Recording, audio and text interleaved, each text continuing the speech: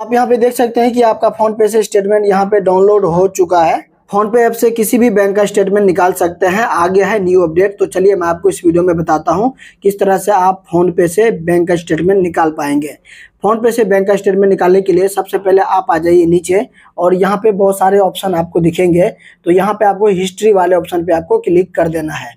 जैसे ही आप हिस्ट्री वाले ऑप्शन पे क्लिक करते हैं, बिल्कुल मैं आपको लाइव दिखाऊँगा तो आप यहाँ पे देख सकते हैं डाउनलोड स्टेटमेंट तो यहीं से अगर आप वीडियो को छोड़ के भाग जाइएगा तो आप कभी भी स्टेटमेंट नहीं निकाल पाइएगा। तो बहुत सारे ट्रिक है तो इस वीडियो को पूरा देखिए, तभी आप जो है फ़ोन पे से किसी भी बैंक का स्टेटमेंट आप निकाल सकते हैं या डाउनलोड कर सकते हैं। तो जहाँ पे आप हिस्ट्री का ऑप्शन देखते हैं, वहीं पे आप देख सकते हैं, एक डाउनलोड स्टेटमेंट दिया गया है, एक फ़िल्टर का ऑप्शन दिया गया है।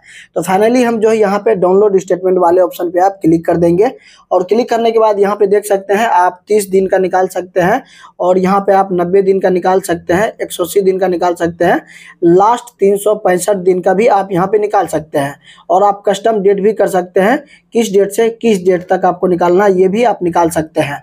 और आप चाहे तो यहाँ पे फाइनेंशियल ईयर तक का भी आप निकाल सकते हैं।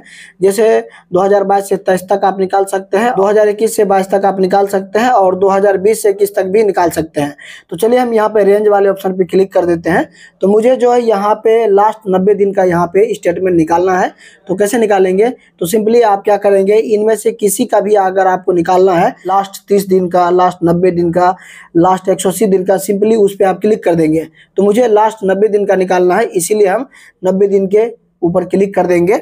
इसके बाद इस पेज को नीचे थोड़ा सा कर देना है। प्रोसीड वाले बटन पे आपको क्लिक कर देना है। तो आप यहाँ पे देख सकते हैं कि आपका स्टेटमेंट जो है यहाँ पे बिल्कुल पूरी तरीके से स्टेटमेंट यहाँ पे डाउनलोड हो चुका है। इसके बाद व्यू स्टेटमेंट पे आप क्लिक करेंगे और यहाँ पे एक पीडीएफ आएगा। पीडीएफ वाले ऑप्शन पे आप क्लिक करेंगे। यहाँ पे देख सकते हैं कि आपका फ़ोन पे से यहाँ पे स्टेटमेंट आप यहाँ पे देख सकते हैं, डाउनलोड हो चुका है। तो मैं आपको बताना चाहता हूँ, अगर आप फ़ोन पे का स्टेटमेंट डाउनलोड करना चाहते हैं, जो भी आपका फ़ोन पे में बैंक अकाउंट लिंक है, उसी का आप यहाँ पे बैंक का स्टेटमेंट डाउनलोड कर सकते हैं।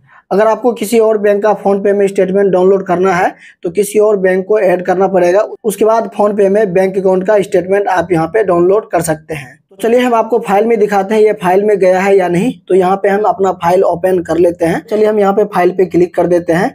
और यहाँ पे डॉक्यूमेंट वाले ऑप्शन पे हम आ जाते हैं तो यहाँ पे देख सकते हैं फ़ोन पे स्टेटमेंट आ चुका है और यहाँ पे पीडीएफ वाले ऑप्शन पे क्लिक करके तो यहाँ पे देख सकते हैं फाइनली यहाँ पे भी मेरे फ़ोन में भी यहाँ पे फ़ाइल में आ चुका है ये पीडीएफ बिल्कुल पूरी तरीके से सेव हो चुका है यहाँ पे देख सकते हैं बिल्कुल न्यू अपडेट आ चुका है अगर आपको फ़ोन में यहाँ पे डाउनलोड का स्टेटमेंट नहीं आ रहा है तो आप क्या करेंगे प्ले स्टोर से जाके फ़ोन पे को एक बार जो अपडेट कर लीजिए उसके बाद यहाँ पे डाउनलोड का स्टेटमेंट यहाँ पे आ जाएगा